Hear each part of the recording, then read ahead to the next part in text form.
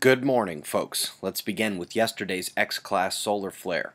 Not only were Mercury and Venus heliocentrically conjoined, but we had a sun-diving comet that I missed. It did die upon approach, making the bajillionth time we've seen this comet flare timing coincidence. Speaking of solar flaring, it is on the decline. We've had only one M flare event since the X-class blast, and it appears to me to have been a rapid eruptive snap of the fields above this area. I do believe I can see ejecta here and in an area to the east. And on SOHO, it appears that a CME impact for Earth is possible for May 9th. It would be minor, if anything. Sunspot situation didn't change much. Still got spread on the north and spread tearing apart that region to the south. No mixing. We still do have a lot of magnetic mixing apparent in the big dog up north to pop the X flare and the only real change in sunspots the last day being the new ones on the south incoming there. Yesterday morning, we identified the CME impact in the solar wind and said we need to watch for reverberations. Well, CME slashed at the electron flux, surged energy into Earth's system, and we had a brief magnetic storm. It has subsided now. So days ago, we saw this typhoon form. Papua New Guinea, took a 7 magnitude quake, an Earth spot connection directly to the south. By the way, it is now once again slated to hit the Philippines, so northern residents there be on alert. Well, last night during the magnetic storm, another Uyen storm was classified just behind the first one, and we took another Earth spot quake just to the south of it, the third 7 magnitude earthquake to strike this same area already in 2015. So, was this expected? Beyond the solar flare energy, which can be geo-effective for seismicity at any location. We watched the southern negative coronal hole enter Earth-facing position last night. You'll remember from yesterday's news, we reported 20% power loss in that coronal hole as red went to orange, but last night it almost doubled its force in wind speed and solar graphic area. Geez, look at that. Furthermore, as it gained power, the coronal fields bent and spread open to let the IMF stream out more easily and broadly.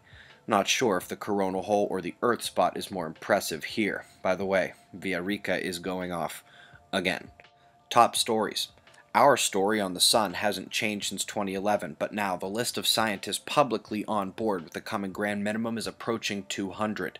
If you are new here, the sun is about to have a nap like it had 400 years ago, and that's slightly less than the best news you're likely to hear today. Linked for you below.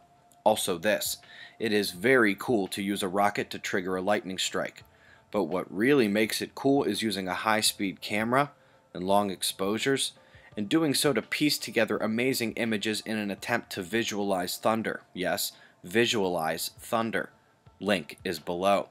I also have a great one on the Enceladus jets. The Saturnian moon has curtain jets that look suspiciously like auroral streams here at Earth. The April State of the Climate report for the United States is out, and we were indeed slightly above average for most of the nation. A bit more boring of a month than most, so they focused heavily on the first four months of 2015 combined polar opposites when you see the United States, and while the West is still smashing heat records, if you look only at the daily minimum temperatures, there's never been a start to a year as cold as this one for the Northeast. Nothing like it on record. FYI for members over at suspiciousobservers.org. Part 3 of our deeper look at imminent Earth changes was posted yesterday. I can already tell from the emails right now a lot of you are disturbed and anxious about it. We will discuss it more on Fly on the Wall this Saturday, I promise. Well now, coming back to the weather. How about those tornadoes in the central states? I just sat watching helplessly last night as tornado after tornado dropped all up and down the convergence line. Dozens of tornadoes in one night. It's coming again tonight, guys, so be alert. And yeah, we've got to watch for early storm formation off the east coast here to the right. In Europe, we're finally seeing that major system move on to the east while another low pressure cell is heading towards Spain and Portugal as we speak. Kind of appears that the convergence is there already, doesn't it? We do have much of the same story down under.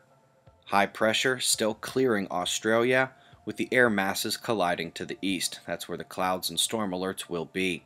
We've got your current conditions followed by shots of our star to close. Eyes open No fear at 6:15 a.m. Eastern Time and that's the news. Be safe everyone.